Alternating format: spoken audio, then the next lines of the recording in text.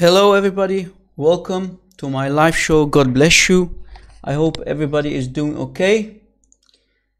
God bless your families. God bless you. I hope you had a wonderful Christmas with your families and loved ones. Is my sound loud and clear, guys? Is my sound loud and clear? Let me know, please.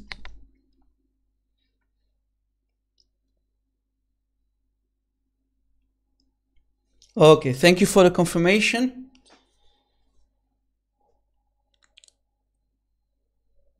How is everybody? Hey, Rana Hanna, Abdul Halik, P to the Wall, Goat, 8, Aisha's Quran, Haha Cool, Hobo Momo, Jan Villegas, Hafza Idasi, Bill, Maya, Maria, Misbah Zaid, Salam al Masih, Peace of Christ to all of you, Peter M. M. Lions 31 Green Tea, Peter M. R. K.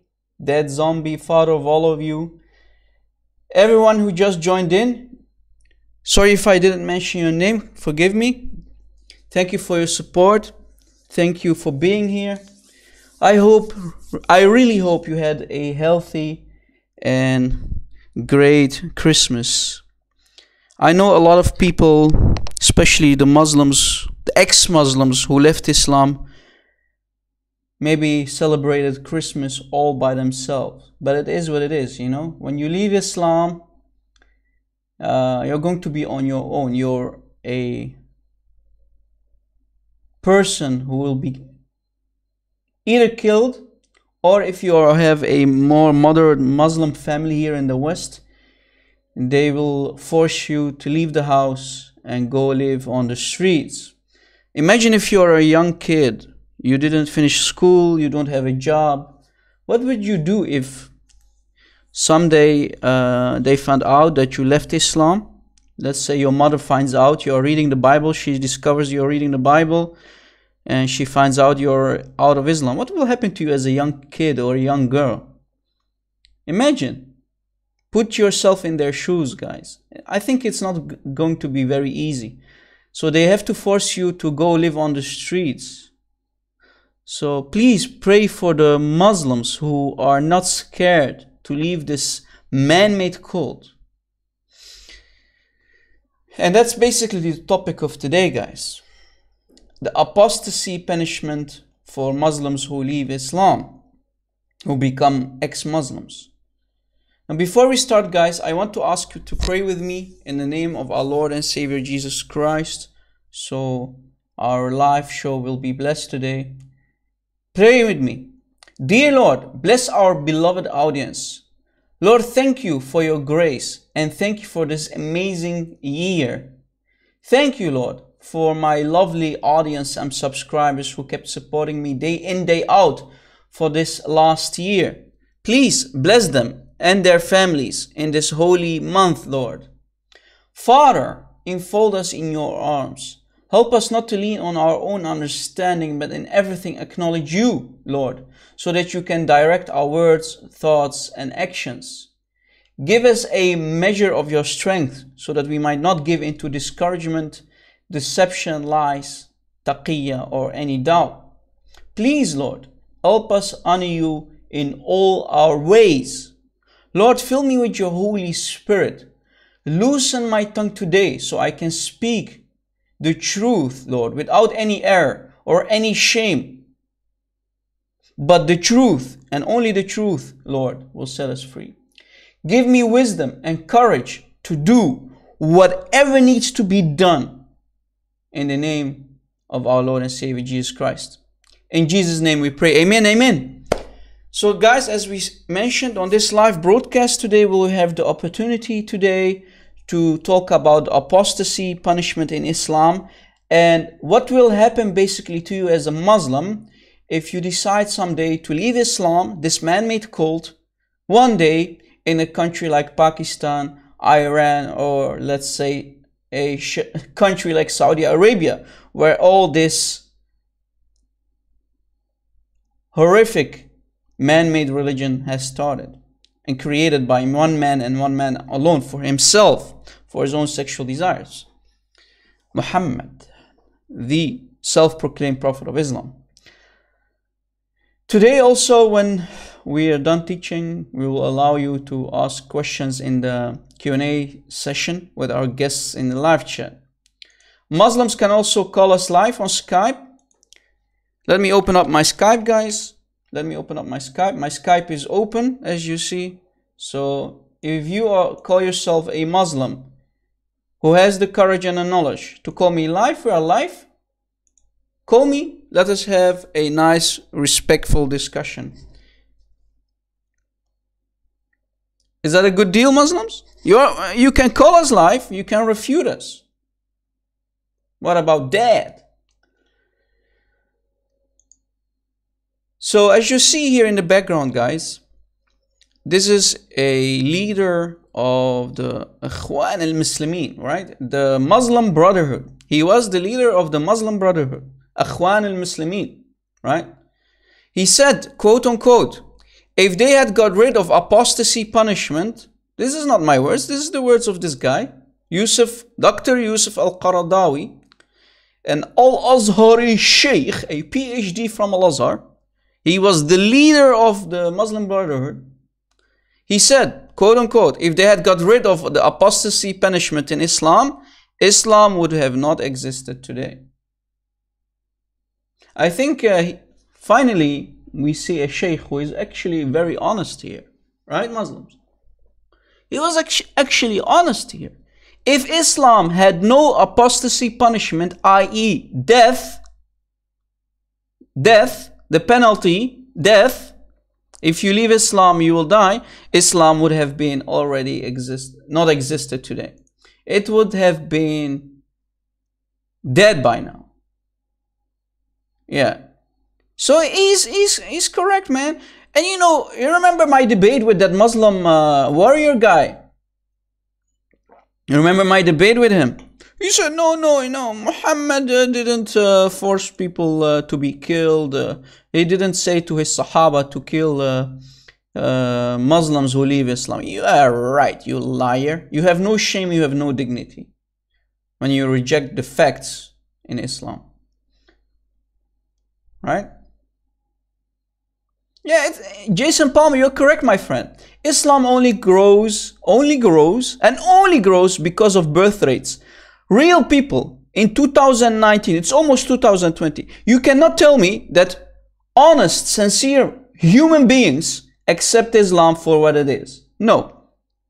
It's birth rates and it's what, because of apostasy, Muslims are not leaving Islam. The apostasy pen, penalty to be specific. You leave Islam, they will give you three days. Three days to repent. You don't repent, you will die. Take it or leave it. You don't repent in three days, you will die. That's what Sharia law is all about. Right? If you live in a country like, uh, let's say, Saudi Arabia, they will give you three days. You don't repent, you die. It's over for you. Right, uh, Mr. Ids? Ids, we have a Muslim, Ids 702. You can confirm that, right? Or are you going to use taqiyya now? Uh, Ids, can you confirm what I what just said? Don't be a coward. I know you're a coward. You will never ever call me. But can you confirm? Can you give me a one? And say, yeah, this is true. We, uh, uh, they will give you three days. They will give you three days on the Sharia law. They will give you three days. Yeah, Mr. 8702. Mr. 8702. Mayday, mayday. They will give you three days. You don't leave us, you don't come back to Islam, you don't repent, you will die. Uh, RK, um, it's everywhere. If you, if you have, a, if you are living in a country under Sharia law, under Islamic Sharia law, you'll get three days, right? But you know, they are hypocrites. Sometimes they don't even listen to their own Sharia law, right? Some Muslim countries, they will put you in jail for many years. And after five, day, five years, they, will, they might decide, okay, it's now time after they stopped torturing you for five years in the in in the jail, right? They torture they torture the hell out of you. They even bind your hands and feet to the ceiling with a rope and they beat the hell out of you. Right, Muslims? Merry Christmas to everybody, to including to you, Mr. Scammer 7. Salam al Masih Habibi. Salam wa ni'ma. نعاد bilafrah بالأفراح والمحبة that's how we say it, Merry Christmas in Arabic, guys. Salam al Masih. Peace of Christ to all of you. So you wanna follow Islam that might kill you if you decide one day to leave this man-made cult. And the proof is in front of you. Because the apostasy punishment, Muslims are still in Islam. The scare tactics, right? And today, guys, I wanted to talk about this gentleman, this poor guy. This poor guy, his name is Junaid, Junaid Hafiz. Junaid Hafiz. And this guy is sentenced to death. He is sentenced to death. Let me tell you about this person if you didn't hear, hear already about him. Mr. Junaid Hafiz is a Pakistani university visiting lecturer and graduate student who has who was convicted of blasphemy. What? Of blasphemy under Pakistani's broad blasphemy laws. And he was sentenced to death. He was arrested, imagine, he was arrested in the year 2013. Right? In the year 2013. That's like six years ago. Almost seven years ago, he was arrested and tortured and almost beaten to death in jail over and over. And he was accused of committing blasphemy, insulting the Prophet. Wait a second. Muslims, here is a very sincere question from my side. A sincere question. How, how do you call something blasphemy? Again, guys, focus with me. How do you call something blasphemy if you are insulting a man like Muhammad? Insulting a man like Muhammad. How is that blasphemy? How is this blasphemy? Anyone can explain? Any Muslim can explain to me how it's blasphemy when you are insulting a guy like Muhammad. When we ask Muslims, who is Muhammad? They say to you, he is a man like you and me. He's a man. He is a man. So how is it blasphemy?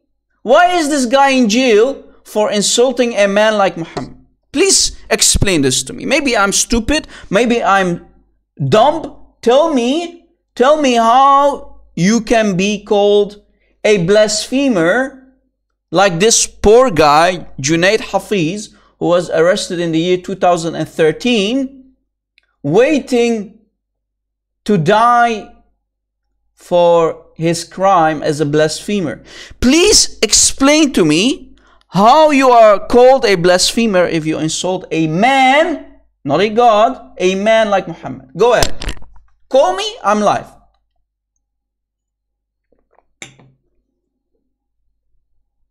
Call me, I'm live. My Skype is open. My Skype ID is the Rob Christian. Call me live and please explain to me why this guy is called a blasphemer. Only because he insulted Muhammad, your prophet. I, last time I checked, you Muslims claim that Muhammad is only a man. He's not your God, right, Muslims? Please go ahead and explain to me. Explain to Rob Christian and uh, to our beloved audience who are watching now, how are you going to call this poor guy, this Mr. Junaid Hafiz, who was arrested in 2013, a blasphemer if he only insulted a man like you and me, Muhammad? Clearly, yes, Pena Saran, clearly Muhammad must be equal to Allah. Right, Muslims? Muhammad must be equal to Allah. This is why you are calling this guy a blasphemer, right, Muslims? You cannot deny that, right? You see the logic in Islam, guys? Do you see the logic in Islam? You are called a blasphemer because you're insulting a man. Next, next, if we insult, God forbid, if we insult Phil Herrera, we will be called blasphemers. If we insult Christian Prince, we will be called blasphemers. Yes, exactly, Peter M. Muslims have two gods. They have Allah and they have Muhammad. Two gods. Shirk, exactly. And the proof is in the Quran. Let me show you why you have, must be killed. Why you are called a blasphemer. If we go to chapter 48, I cannot bring this enough, guys, to you. This ayah, uh, 48.9. Here is why you have to be killed, guys. Watch. Here is the reason why you have to be killed and called a blasphemer in Islam if you insult Muhammad. It says in this ayah, chapter 48, ayah 9 from Surah al-Fath. لتؤمنوا بالله ورسوله وتعزروه وتوقروه وتسبحوه بكرة وأصيلا. You have to believe in Allah and Muhammad and you have to assist Muhammad in battle. You have to honor and respect Muhammad and you have to glorify Muhammad, tasbih for the Prophet every morning and evening. A bam! This is why Muslims, when they insult Muhammad, or even Christians, if you live in the Middle East, if you insult Muhammad, and let's say you repent, you say, sorry, I didn't mean it, still they are allowed to kill you. You will not be forgiven. Because Muhammad, the Rasul, is God in Islam. He's equal to Allah, according to this ayah. Why? Because when we went to school in the Middle East as Arabic speakers, like me, we learned that the last mentioned person in a sentence like this, in an ayah like this, the last person, all the words that come after in one sentence like this are addressed and only and only for the last person. So you have to assist Muhammad, the Rasul, according to grammar rules, Arabic grammar rules. You have to assist Muhammad in battle. You have to honor and respect him. And you have to do tasbih. You have to glorify the Prophet, the Messenger. Bam! This is why Muslims must kill you if you insult the Prophet. They have to call you blasphemer if you insult the Prophet. Subhanallah. No, no, I meant to say Subhan Muhammad, right, Muslims? Subhan Muhammad. Tasbih. Hamd li Muhammad, right, Muslims? You see why, why, guys, from now on, from now on, in 2020, from now on, we are almost in a new year, we should stop calling Muslims Muslims. Call them Muhammadans call them Muhammadans because they are worshippers of Muhammad. Right? Do you agree? The proof is in front of you, right, guys? Stop calling Muslims Muslims. They are Muhammadans. This is the new name in 2020 for all the Muslims. They have to worship Muhammad and glorify him every morning and evening. Glorify who? Glorify the Prophet every morning and evening. And the proof is in front of you. These are not my words. These are the words in the Quran. This is Quran, Muslims. Don't say this is Rob Christian. If you say you are lying, Rob Christian, I challenge you right here, right now, live, to call me on my Skype and prove me wrong. Yalla ya akhwan, yalla, yalla, yalla, yalla, yalla, yalla, yalla. Come on, come on. Christmas is over. Don't say you are still celebrating Christmas. Right? Don't say you are still celebrating Christmas, Muslims.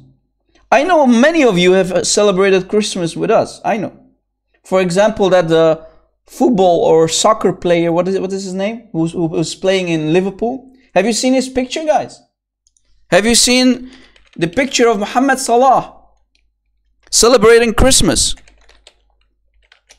Didn't you see that? Let me show you guys.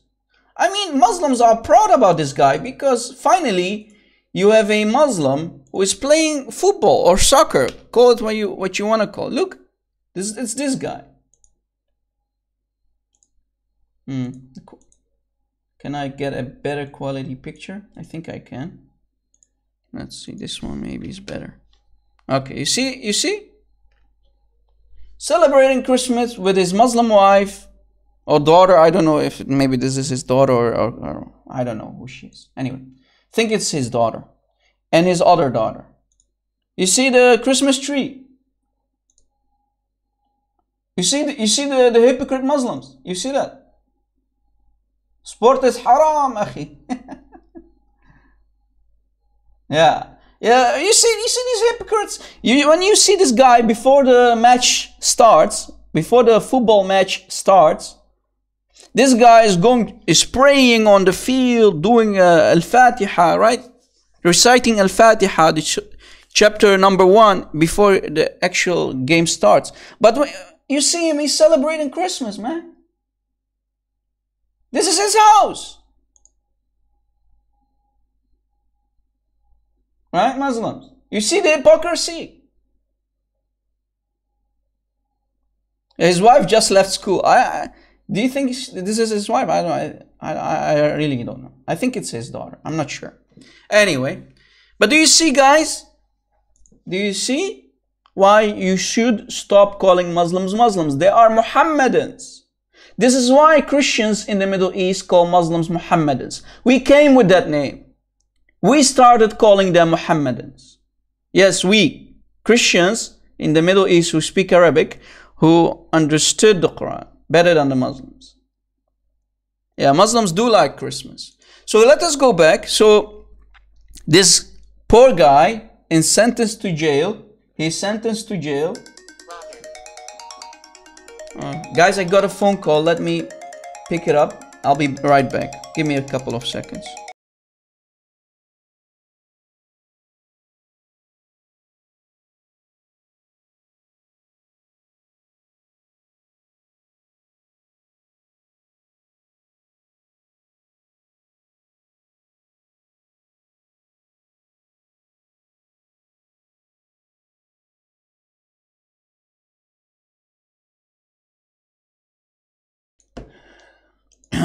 guys um, i will get a visitor. My brother will come and visit me. So i'm not sure how long i will stay live. So when he knocks on the door that means the live show is over. But it will continue guys.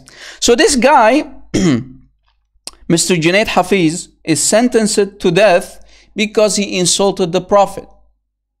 And he's called a blasphemer. Can you imagine so he's in jail.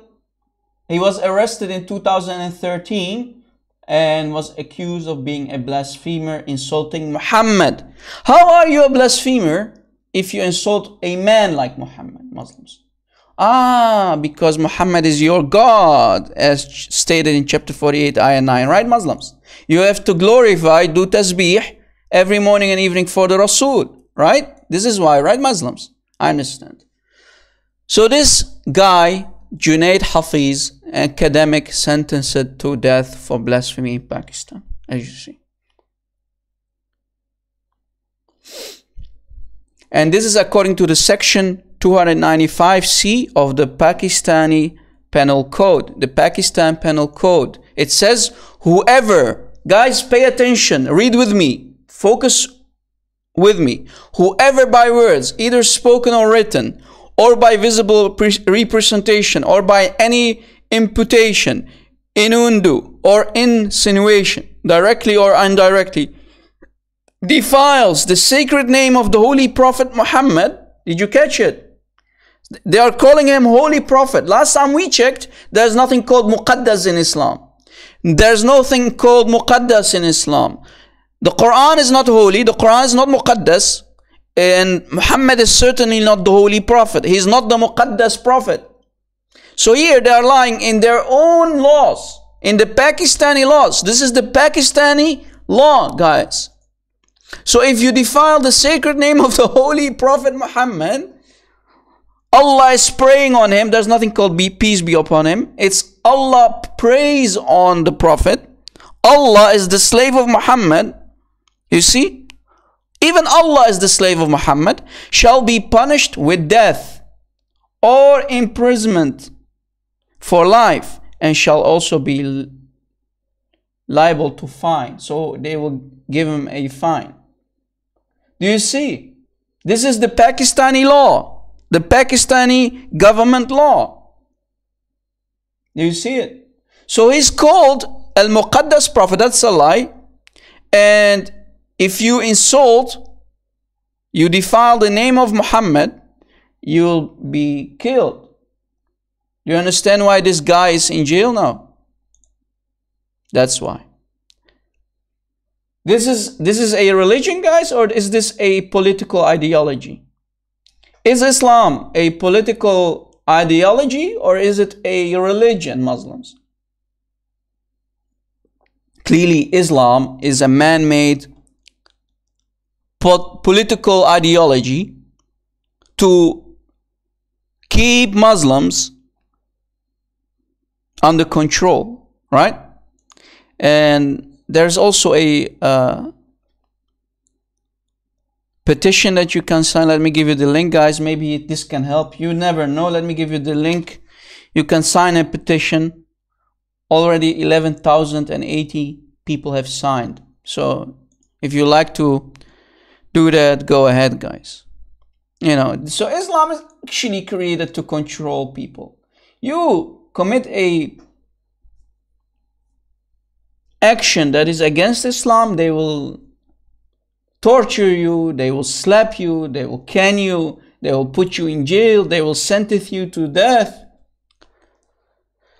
You know, when we ask this a question, this question to to the shuyukh, and I went to this website, islamqna.info. Let me give you the link too. So you can do your own study about this very topic. Why death is the punishment for apostasy? The, that's the question to this Sheikh Muhammad Salih Al Munajjid, the Sheikh of this website, islamqna.info. He is a PhD Sheikh, and this is his fatwa number 811. The question has been asked several times for non-Muslims and I want to find an answer. So this is a Muslim asking this question. Why when the Muslim convert to another religion, eh, he becomes a murtad, an apostate, why should he be, ki be killed? And here is the answer from the Shaykh, Shaykh Muhammad Salih al-Munajjid. Alhamdu to Muhammad, I mean to Allah. Alhamd to Muhammad, I mean Allah. Your question might be answered by the following points. This is the ruling of Allah Himself and Muhammad. Why not only Allah? Because Muhammad is equal to Allah, right, Muslims? As the Prophet, Allah is praying on him, said, Whoever changes his religion, kill him. Reported by Al Bukhari. You see it? This is the hadith that you can find. Let me give you Sahih al Bukhari, is better. You can find this hadith, guys, in Sahih al-Bukhari. You can find it in, in, uh, in Nisa'i too. Here is Sahih al-Bukhari hadith. And Muhammad saying, this is Sahih al-Bukhari hadith number 6922. Let me give you the link, the reference for that too. Sahih al-Bukhari hadith number 6922.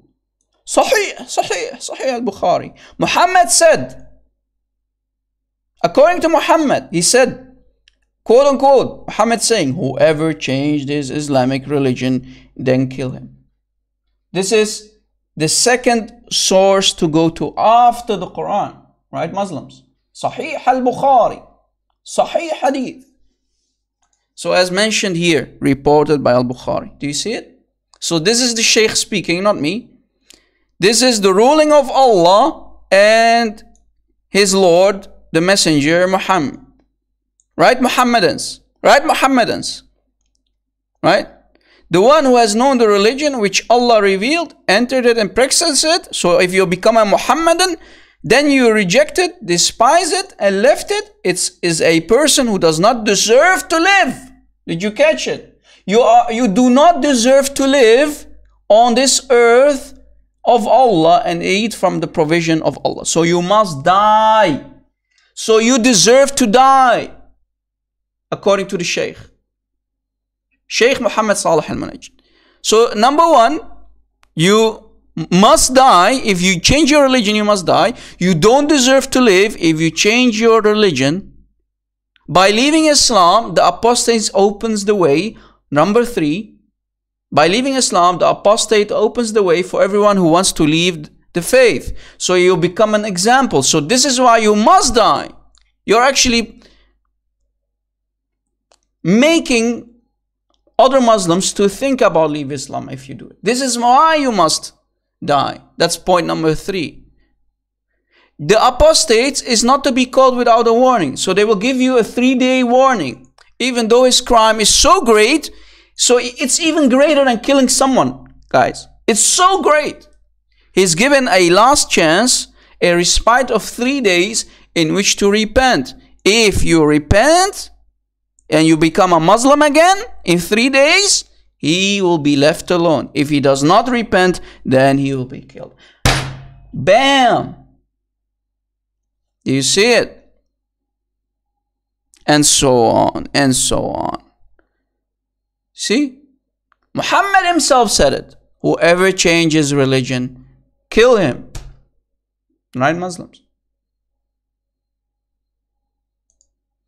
So, actually, Muhammad, when he created Islam, guys, he came with a huge plan. And he came with his plan of scare tactics of this cult.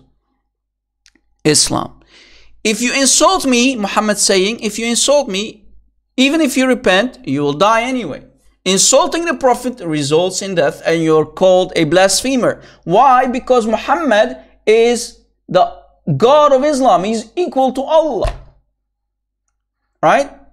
See the scare tactics? Punishment of the grave. You remember punishment of the grave, right? Two angels come and try to test you. See if you are a true Muslim. If you can't answer all three questions correctly, they start to bring the huge sledgehammer down on you. Right? With the sledgehammer. Two angels. I mean, what's the point, Muslims? How can you be punished when you're already die, when you're when you are already dead in your grave? How does it hurt?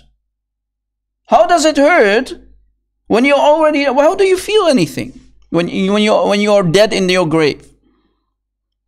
That doesn't make sense, but anyway. And we know Muhammad actually got this idea from two Jewish ladies, right? Two Jewish ladies came to lie, to troll actually Aisha. And Aisha, she was smart. She noticed these two, two Jewish ladies are trolling me. And she went to her husband when the two Jewish ladies left, right? They were laughing. we just told Aisha a joke. Let's see if Muhammad will buy it.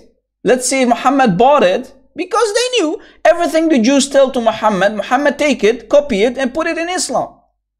Right? It becomes Islam.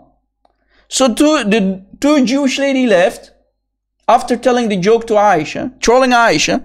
Aisha went to her husband, Muhammad, and she told him, Have you heard about punishment of the grave? He said, Yeah, this is true. So from that moment on, even Muhammad started to fear the punishment of the grave. Right? right? The Muhammadans. So you got a troll idea, right? A joke from the Jews, and you made it Islam. Number three, implementing a death penalty for everybody, for anyone who leaves Islam. If you become an apostate, you will die. They will give you three days. If you don't repent, they will kill you. Even your dad can kill you. Even your brother can kill you. Even your mother can kill you. Your cousins can kill you. Your own family are allowed to kill you if you leave Islam. So you see how when you create a false cult, guys, when you create a cult, a man-made cult like Islam, you're going to implement scare tactics to make your followers not leave Islam. So you can control them for the rest of their lives for their miserable lives. Right, the Muhammadans?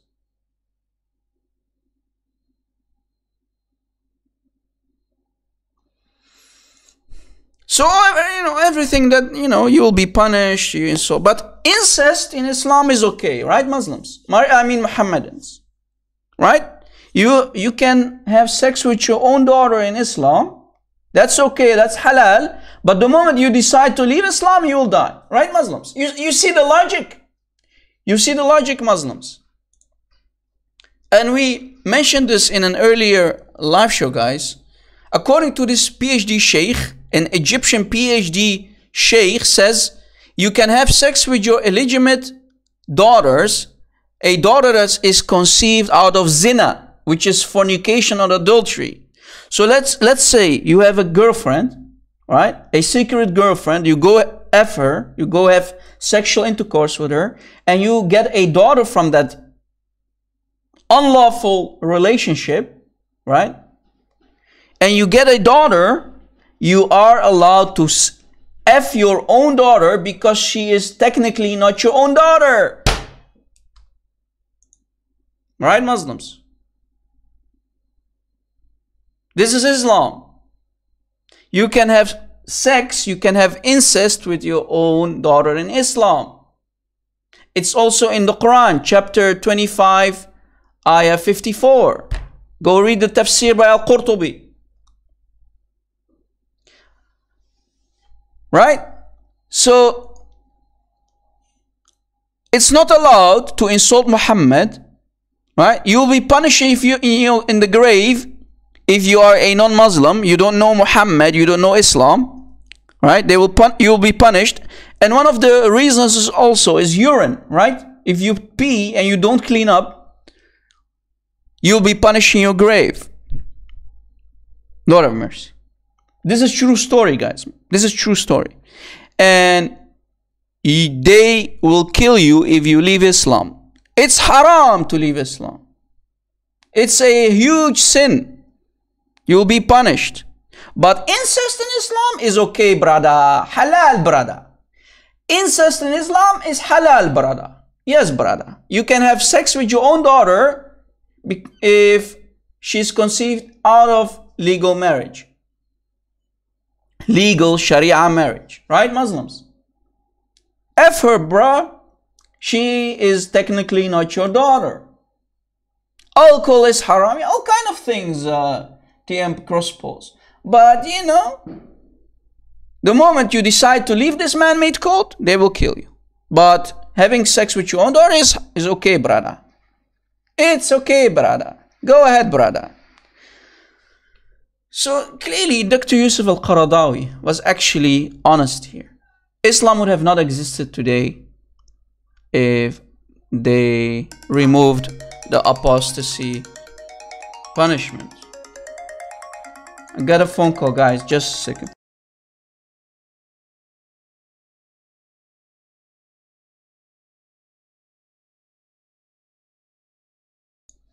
So as you see, guys, as you see, Islam is nothing but a man-made cult who forces Muslims to stay in this man-made cult, right? And they have to implement all kind of scare tactics to this man-made cult and we mentioned three points to control you and keep you in this man-made code right? Right muslims? Muhammadans. Guys thank you for watching. I really have to go. Sorry for this very short live show but you know it's better than nothing. You know this is these are really busy months. Uh, my brother will come and visit me. Thank you for watching. Please bear with me I really didn't want it to be this short, but at least we are together again. I see that my friends and family in Christ are all healthy and are still all supporting us, our work, even if it's very short like today. Please forgive me. Stay safe, be blessed. Hopefully, we will see each other in 2020 again. Maybe even sooner we'll see if I'm going to do another live show. God bless you. God bless your families. Have a healthy and blessed 2020. Stay safe in the name of our Lord and Savior Jesus Christ. God bless you and your families. To the Muslims, Islam is nothing but a man-made cult created to control you and to keep you in this man-made cult. Muhammad created Islam for his own sexual desires and to control women and men. Please come back home to Jesus, our Lord and Savior. Please open your eyes. Don't be deceived in 2020. Thank you for watching, guys. Don't forget to subscribe, smash that like button, help me to help you. Download our videos. Click on the notification bell to receive notifications. Thank you for watching. Lord willing, we will see each other very soon again. God bless.